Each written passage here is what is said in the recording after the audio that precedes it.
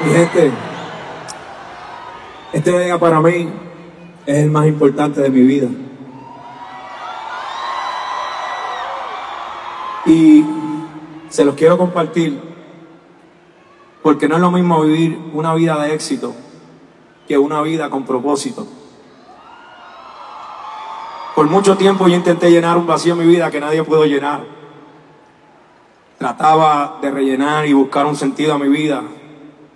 En ocasiones aparentaba estar bien feliz, pero faltaba algo para hacerme completo. Y les tengo que confesar que ya esos días terminaron. Alguien pudo llenar ese vacío que sentía por mucho tiempo.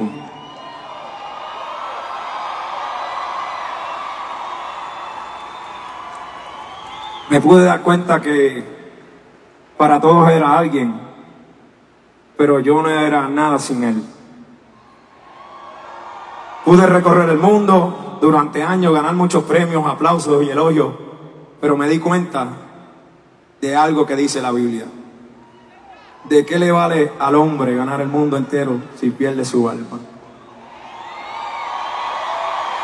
Por eso esta noche reconozco y no me avergüenzo en decirle al mundo entero que Jesús vive en mí.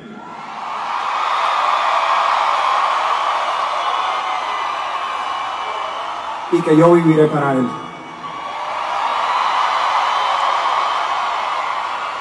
La Biblia dice, todo aquel que lo reconozca en público aquí en la tierra, también lo reconocerá delante de mi Padre. Muchas gracias. Ahora, el que me conoce por Dari Yankee, que diga es Dari Yankee en Cristo, Raymond Ayala en Puerto Rico. Se acabó una historia y va a comenzar una nueva historia, un nuevo comienzo.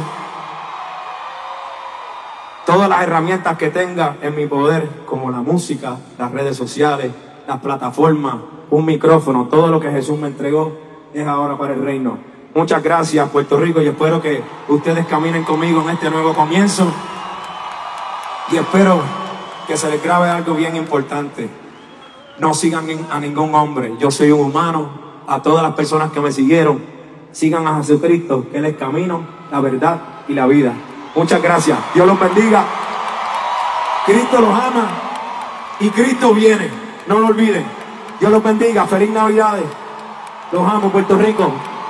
Y que así mismo, Jesús, como tú me permitiste por tu misericordia recorrer el mundo, en tu misericordia, Padre, que así tú me permitas desde Puerto Rico evangelizar el mundo.